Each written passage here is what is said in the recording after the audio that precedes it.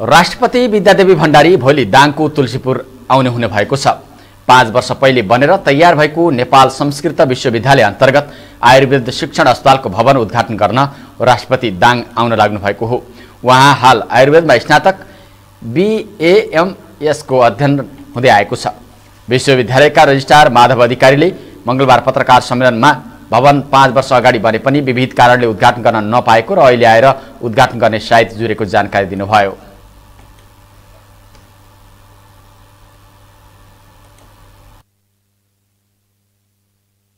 आयुर्वेद शिक्षण भवन जुन यहाँहरूकै अगाडि छ यो हामीले बनाउन दुई हजार सत्तरी साल असार सत्र गतेका दिन सम्झौता गरेका थियौँ।